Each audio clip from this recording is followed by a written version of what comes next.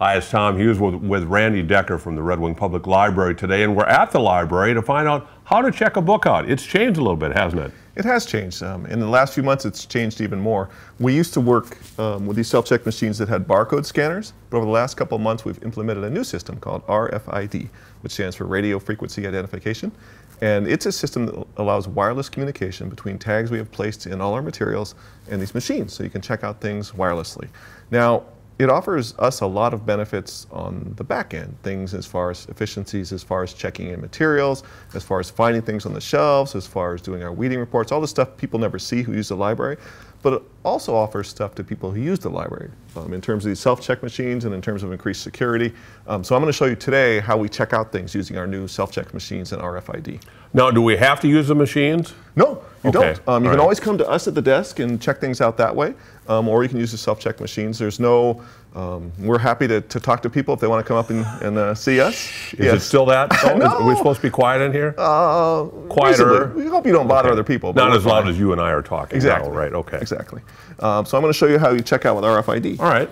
Now, you'll need your library card to use these machines. All right. And just like before, you scan your library card under the red barcode. And then you take a book or a DVD or a music CD, whatever, and just put it on this pad. And it doesn't matter, it doesn't have to be face up, face down, doesn't matter where you put it. It finds it and checks it out.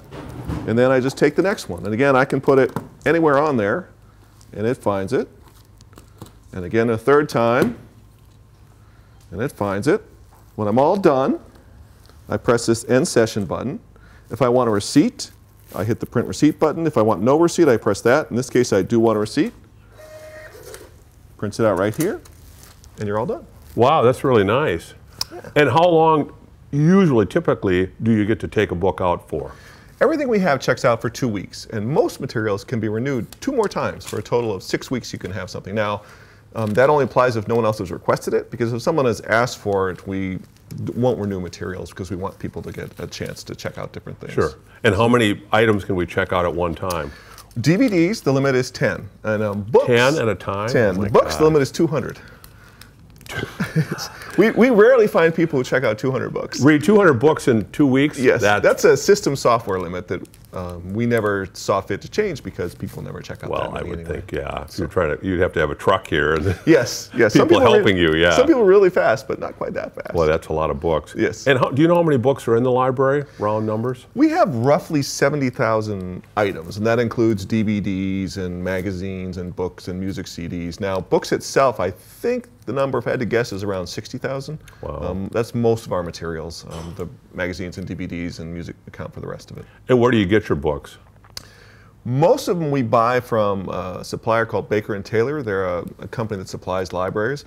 If we can't find something from them that somebody's asked for, we'll go to Amazon or we'll go all sorts of places to get things. I imagine there's people that come in and go, oh, the new whoever book is coming out. Exactly, and we try and be really responsive. When people ask for something, we'll do our best to buy it for them, as long as it fits in our collection and our budget. Sure. Um, you know, we're not going to buy a ten thousand dollar rare book that only one person ever wants Come to see. on, I want to see that book. well, if it, was for, if it was for you, we probably would. well, I'm sure, yeah, right away. but not not anyone else. Well, this is really a cool system. And um, how about if, what, what happens when we bring our materials back? What do we do then? You still just bring them to the desk right up front there. Um, there's no automated material handling uh, on this system, so just bring them back right over there. We'll take care of them for you. Okay. Or you can use the 24-hour book drop that's outside. Um, you can put it in the slot there by the door, and we'll take care of it from there too. Excellent. Thanks for the help today. You're very welcome. Thanks for coming over. I'm Tom Hughes with Randy Decker at the Red Wing Public Library. Thanks a lot for watching Red Wings Channel 6.